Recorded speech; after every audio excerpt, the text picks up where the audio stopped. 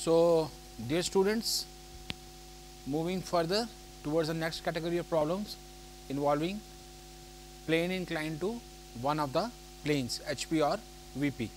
So, just like your line we have to show the inclination of the plane with respect to the horizontal plane or the vertical plane. So, this is your vertical plane, this is your horizontal plane. By this time you must be well familiar that what is horizontal plane, what is vertical plane. So, the regular polygons that we talk about that is your pentagon, hexagon, triangle or rectangle, square, triangle. So, these are the problems that will come across. Now, let us take the case in which the problem is you can write down the problem a pentagonal plate of 30 mm side each rests on one of its edges of its surface on the horizontal plane. Draw its projections if the surface of the plate makes an angle of 45 degree to the horizontal plane. So, this is our problem that you have a pentagonal plate. So, first object first step is to identify what is the laminar object. So, object is your pentagon. So, you know the 5 sided figure will be there. Then where the object is resting. So, as per the problem the object is resting on the horizontal plane on one of its edges of its surface because a laminar object is a surface. So, now what we will do? We will draw its projections. So, I will draw the xy line first as usual. Then the question is where to draw the pentagon above xy or below xy. So, we will use the same logic that as object is resting on the horizontal plane, object is resting on the horizontal plane. Suppose this is object though this is a rectangle, but you assume it is as a pentagon. So, now the question is where it is resting vertical plane or horizontal plane vertical plane or horizontal plane या फिर अगर हम इसी की बात करें ये vertical plane है ये हॉरिजॉन्टल प्लेन है तो ऑब्जेक्ट कहाँ रेस्ट कर रहा है आपका हॉरिजॉन्टल प्लेन तो हॉरिजॉन्टल प्लेन मींस ग्राउंड पे लेट अस से ये नीचे ये ग्राउंड पे so that is your horizontal plane and it is resting on one of its edge तो एज क्या होगा ये साइड अगर कॉर्नर होता corner means this so it is resting on the edge so we'll proceed with the fact that object is resting on the horizontal plane will get the true shape in the top view. So, I will draw a pentagon of side to, uh, 30 mm each. Now, how, how far away I should draw the pentagon from this xy line? You can take any, any distance provided it should not cross xy. So, preferably उसको नीचे बनाइए. Let us say here. So, 30 mm so, let us say this is 1, this is 2. I told you how to draw the pentagon from here 108 degrees, from here 108 degrees. So, 30 mm cut करेंगे let us say there यहाँ 30 mm cut करेंगे ये।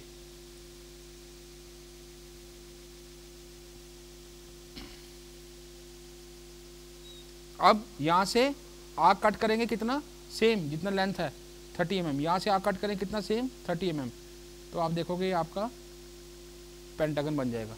तो on board it may not appear like regular but the logic is this so one two three four and five so it is a five sided figure अब हम इसके projector drop करेंगे। One और two का same होगा। Three और five का आप देखोगे सेम होगा और फोर का सेम होगा। कैसे? वन और टू आप जब नीचे से देखोगे इसको टॉप व्यू से तो वन और टू सेम प्रोजेक्टर पे आएँगे। फाइव और थ्री सेम प्रोजेक्टर पे आएँगे। फोर एक अकेला प्रोजेक्टर पे आएगा। So one two three four five so what will be front view front view will be one two This point this point is four so one two three four five so one dash comma two dash three dash comma five dash and this is 4 dash. So, this is your true shape. ठीक है now I'll draw the locus. So, this will be locus of 5, this will be locus of 1, this will be locus of 4, this will be locus of 2 this will be locus of 3 तो मैं सबके आगे लिखूँगा अभी locus of 3 locus of 2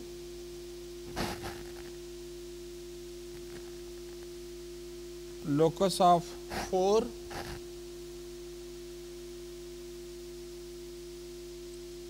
locus of 1 and then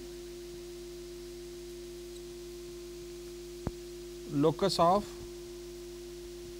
5 so so, one का locus two का locus three का locus four का लोकस और फाइव का लोकस और यहाँ पे projector projector one dash two dash three dash five dash और four dash so first step is there we got a true shape we got the front view now the problem is that the this plate means entire surface 1 2 3 4 5 is inclined at an angle of how much? Theta degree to the horizontal plane. Me hp किस पे rest कर रहा है? Horizontal plane पे, like this ऐसे rest कर रहा है हॉरिजॉन्टल प्लेन पे? अब ये तो वर्टिकल है बट आप इसको जूम करोगे, जैसे ग्राउंड आपका क्या है? हॉरिजॉन्टल जैसे ये है. तो ये आपका रेस्ट कर रहा था, किस पे? ये आपका हॉरिजॉन्टल प्लेन है, ये आपका वर्टिकल प्लेन है. तो आपके हॉरिजॉन्टल प्लेन पे रेस्ट कर रहा था, आपको फ्रंट व्यू में लाइन देखी टॉप व्यू में ट्रू शेप हमने कर दिया. True shape and front view अब object is inclined at an angle theta to the horizontal plane so this object which is resting on one of it side कौन सी side पर rest कर रहे हैं? वन टू तो ये side आपकी क्या है? One two no this is inclined at an angle of how much degree theta degree that is a forty five degree given the problem so it is inclined at forty five degree to the horizontal plane so in the front view what you are able to see you are able to see an inclined line तो ये सारा surface one two three four five तो हम इस सारे one, two, three, four, five को incline कर देंगे। हम इसको एक्सटेंड करेंगे आगे। With this R centre I L draw line equal to one, two, three, four, five. So let us say one dash, two dash, four dash. अब three dash five dash कैसे आएगा? One dash, two dash से जितना three dash five dash का distance है। One dash, two dash पर compass रख के थ्री डैश फाइव डैश पर जितना डिस्टेंस है। So this is this three dash five dash. So, it is inclined at an angle, theta. क्योंकि horizontal plane के साथ इंक्लाइन है। अब क्या करेंगे? 1 डैश से 2 डैश पे नीचे प्रोजेक्टर ड्रॉप करेंगे क्योंकि हमें अपरेंट शेप देखनी है। फ्रंट व्यू में बस देख लिया लाइन है। टॉप व्यू में क्या होगा? अपरेंट शेप अपरेंट शेप कैसे आएगी? वन डैश टू डैश से टॉप व्यू प्रोजेक्ट करेंगे नीचे। ये। फोर से ऐसे नीचे। थ्री डैश फाइव डैश से नीचे। तो आप देखोगे जहाँ पे लोकस और प्रोजेक्टर इंटरसेक्ट किए हैं, वो हमारे न्यू रेफरेंस पॉइंट होंगे। लोकस हमारे पास पहले थे प्रोजेक्टर हमने ड्रॉप किए तो स्टार्ट हम करेंगे फोर से, क्योंकि वो सिंगल प्रोजेक्टर है। तो फोर फोर का प्रोजेक्टर और फोर का लोकस ये फोर का प्रोजेक्टर और ये फोर का locus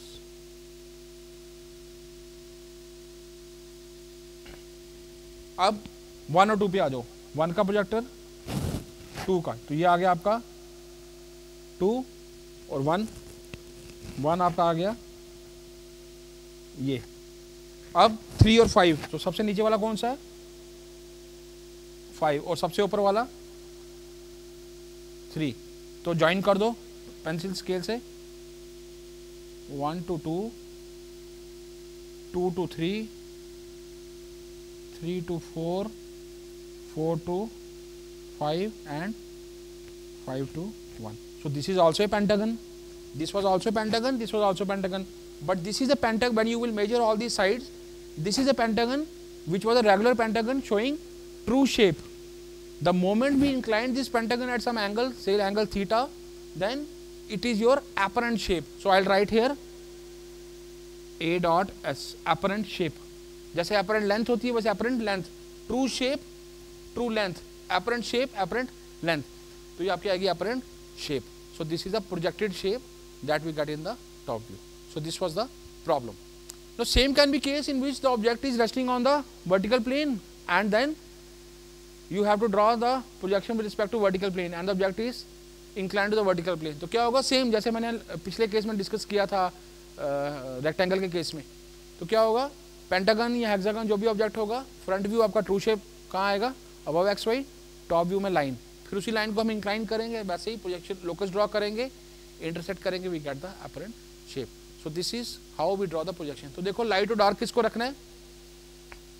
All construct all projection lines all locus lines light true shape front view apparent shape these all are dark rest everything is light so this is the way how you draw the problem in our time we used to use we used to have different set of chalks colour chalks so that way uh, that used to give another better idea that how to draw the locus तो अभी हम marker से जैसे draw करते हैं white board marker से तो all these lines should be light and the true shape is dark so I think you are able to clearly visualize it that which one should be light which one should be dark so with this I stop here and we end this problem so same way you can have any problem so this was pentagon you can have hexagon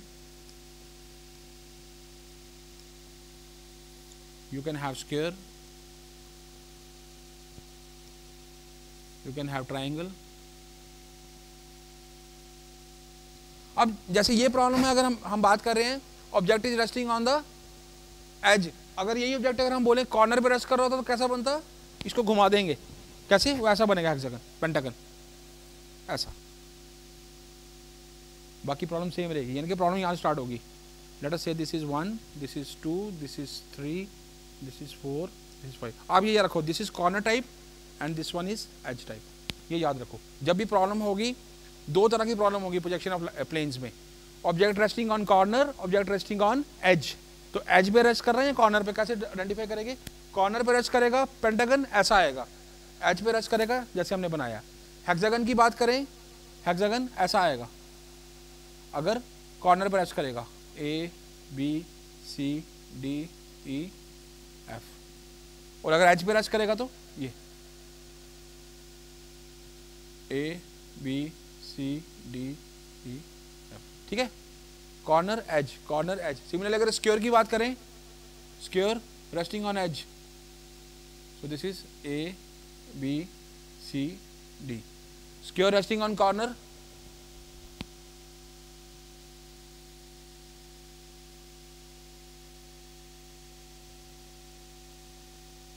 one two three four corner edge तो edge और corner का आपको difference पता लगना चाहिए कैसे है।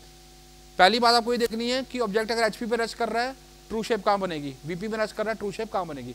VP में रेस्ट करेगा जब तक ऑब्जेक्ट ट्रू शेप कहाँ बनेगी? फ्रंट व्यू में। एचपी में रेस्ट कर रहा है ट्रू शेप कहाँ बनेगी? टॉप व्यू में। पहला स्टेप दूसरा स्टेप ऑब्जेक्ट बनाना कैसा है? एच टाइप या कॉर्नर टाइप अगर कॉर्नर टाइप होगा इस टाइप का। दिस इज़ कॉर्नर टाइप मैं लिखता हूँ इसके बीच में। C C and C edge type होगा तो E E and the problem itself is E so corner type होगा या एज टाइप होगा? एज बोलो या साइड बोलो। ठीक है? So with this I stop here so we have taken of the problems involving object resting on the horizontal plane or the vertical plane and the inclination of the object with respect to horizontal plane और the vertical plane next case है circle का that I take up in the next class thank you